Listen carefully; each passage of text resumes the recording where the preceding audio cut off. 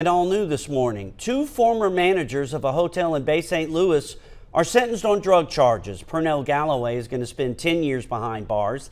Cassie McKenzie was sentenced just over nine years. According to court documents, the two were selling drugs from a hotel on Highway 90.